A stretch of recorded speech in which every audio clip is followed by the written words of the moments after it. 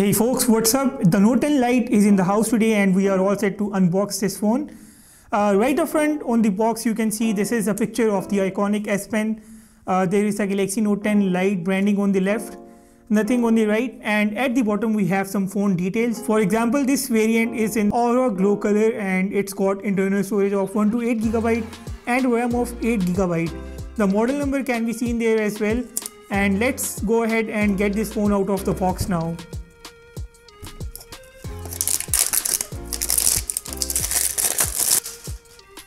This is the warranty card of the Samsung Galaxy Note 10 Lite.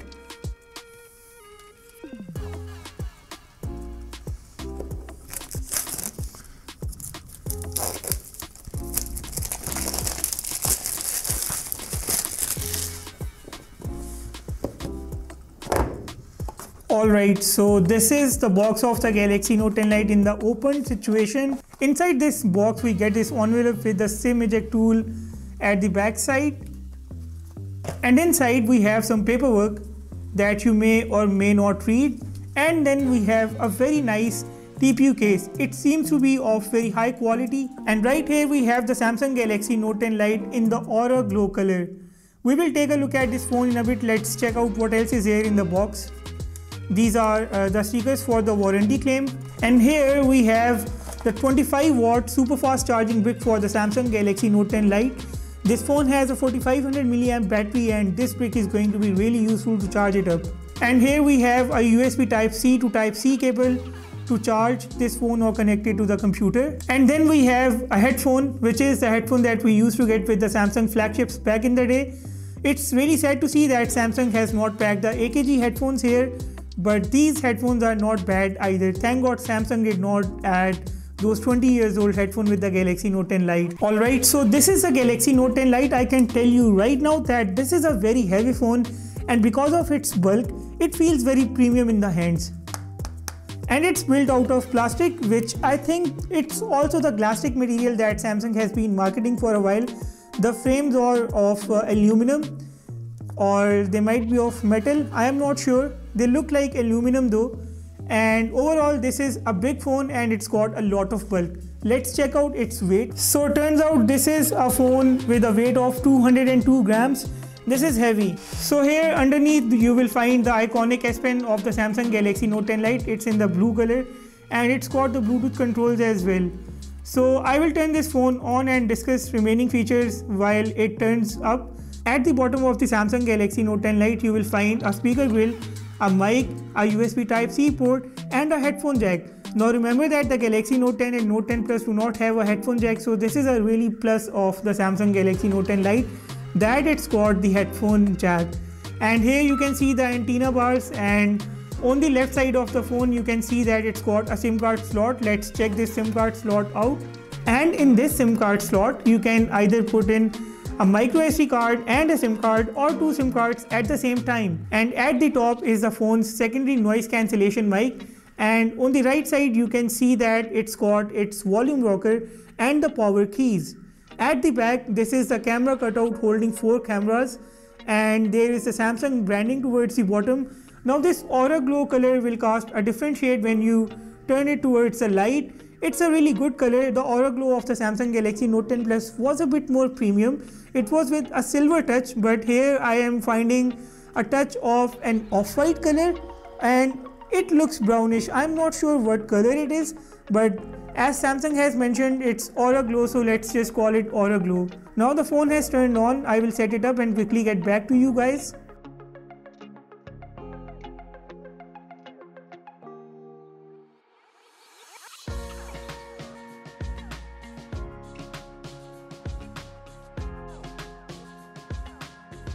The Note 10 Lite has a fingerprint scanner under its display so I am going to set it up and see how it performs.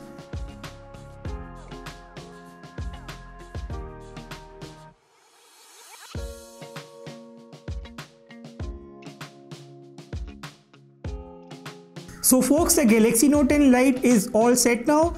I can tell you right now that its fingerprint scanner is working much better than the Samsung Galaxy A51 and the Samsung Galaxy A71. It's not the ultrasonic scanner, however, it's working really good and I am liking it.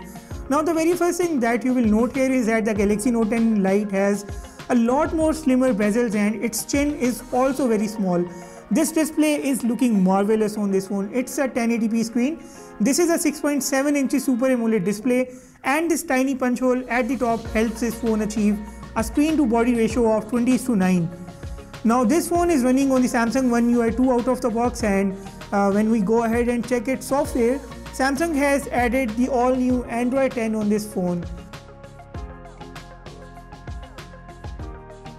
Furthermore, this phone has the NFC and it's got the always on display as well. Also, the screen recorder is there and there is a Bluetooth 5.0 in this phone. The Dolby Atmos is there and the dark mode support is also there. At the back, it's got a main 12 megapixels camera. There is a 12 megapixels ultra wide camera and a 12 megapixels telephoto camera.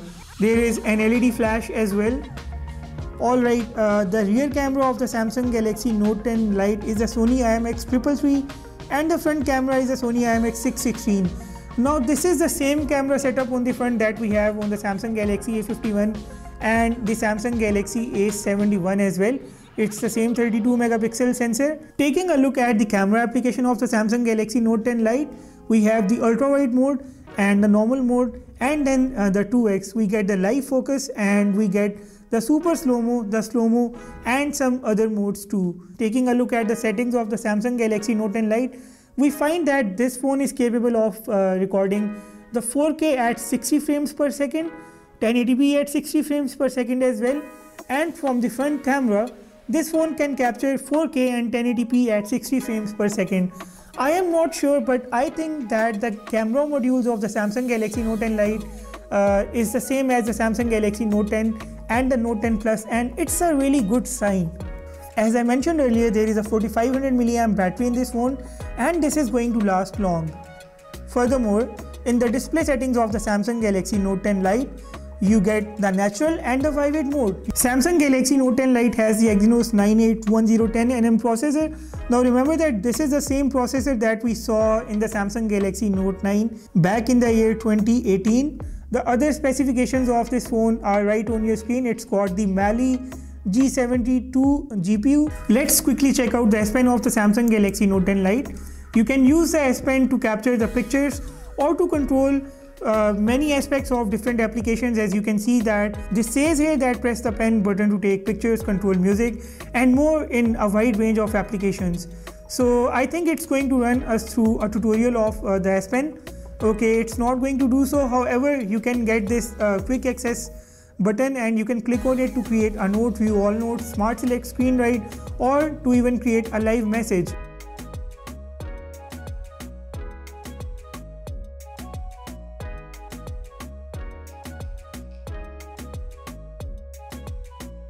The S Pen is uh, the feature that makes this phone absolutely worth it. Comparing the Galaxy Note 10 Lite to the Samsung Galaxy A70, now both phones are actually equal in size and they have pretty much a same form factor as well but the Samsung Galaxy Note 10 Lite has a more premium feel to it. So you can see that the punch hole of the Samsung Galaxy Note 10 Lite is smaller than the Samsung Galaxy A71.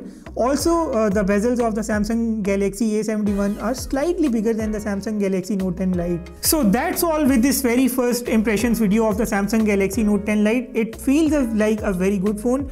It's definitely falling in the category of flagships. If you're looking for a phone that falls in your budget, but with the traits of a flagship device, you may consider getting the Samsung Galaxy Note 10 Lite. I will definitely be doing this phone's uh, camera review, its battery drain test and its comparison with the phones like the Samsung Galaxy A71 and all other possible phones that I can get. So stay tuned for all those videos. If you're new here, please hit the subscribe button. And if you like this video at some point, do hit the thumbs up button as well. With that said, I will sign off and I will see you all in the next one really soon.